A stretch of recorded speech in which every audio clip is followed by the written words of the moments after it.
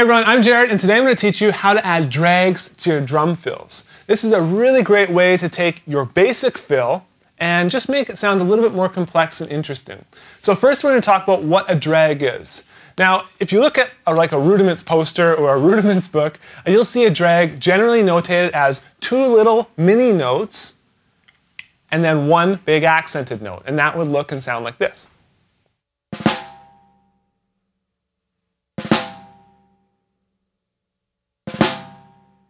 And then the way I kind of started figuring out this stuff is I started practicing the single drag diddle, which is basically drag, left, right, right, drag, right, left, left. It's like the paradiddle with the drag on the, the first of each count.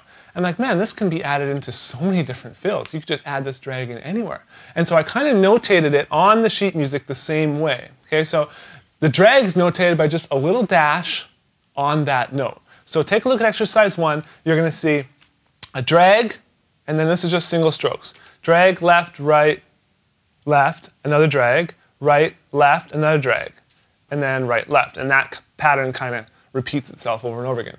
And this is something like I've heard um, one of the, the, most famous drummers in the world, Buddy Rich. He plays drags. I just think it sounds unbelievable when he puts them in his solos and, and all the crazy stuff that he's doing. So if you want to listen to drags within drum solos and drum fills, definitely check that out. Okay? But a drag is generally, in this case, in the case of what we're doing here, it is double the note value. So if you're seeing 16th notes, the drags are going to consist of 32nd notes. Okay? So we're going to double it. I'm not saying that's always the case, but in the case that we're doing here, that is going to be the case. Okay?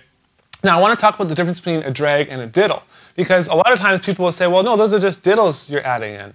And that is not necessarily the case because a diddle consists of something that is the same note value. So you have a para diddle, right? And the diddle is 16th notes, just like the para. Okay, so it's all the same note value. Whereas a drag, we shift the note value and we either we can double it, or sometimes the note value is not even really audible because it's just so fast and it just sounds like this one thick note. Okay, but this is just an awesome way to, to really up your fills and just make them sound way better and just give them a, a little bit more complexity. And uh, I think, you know, as far as pushing ourselves, this is one thing we can do, like a simple thing that we can do that, that is just gonna, you know, make you have more fun at the drum set. So, with that said, I'm gonna play all of these exercises at two tempos for you, okay? I'm gonna play them at 60 and then again at 100. And the exercises were designed to start at like a beginner level and then just slowly get more challenging, okay? So we're going from beginner all the way to advanced. Um, now, one thing I want to mention here is on exercise four, you're going to see a little drag on the, a little drag, you're going to see a drag on the bass drum, okay? So we can do drags on, the, on both feet as well, okay? That would just sound like this.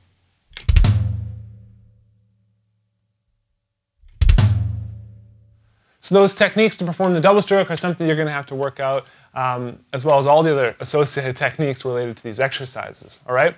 So with everything, you know, you have to start slow, and progress faster as you become comfortable. Here we go.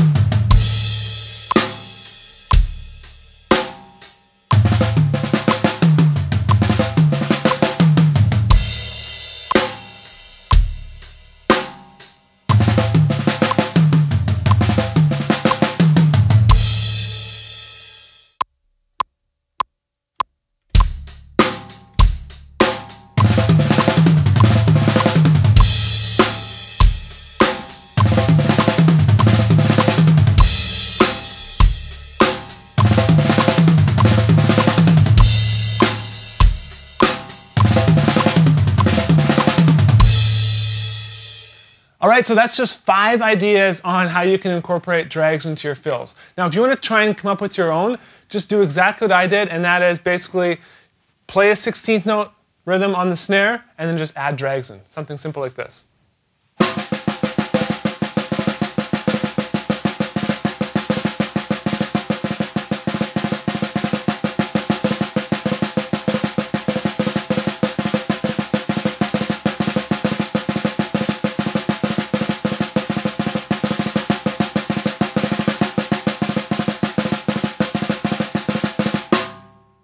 Right, and just so you guys know, when I do those on the snare drum, I'm bouncing mostly. If I go to do them on the floor tom, um, I use a little bit of fingers to pull the stick back up and get that second note in there, just to give it a little bit more definition.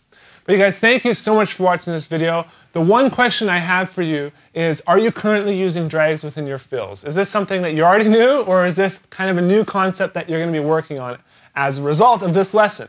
Also, I wanna know which of these exercises you like the best. Number one, through five. All right? Thank you so much for watching, and I'll see you guys again very soon.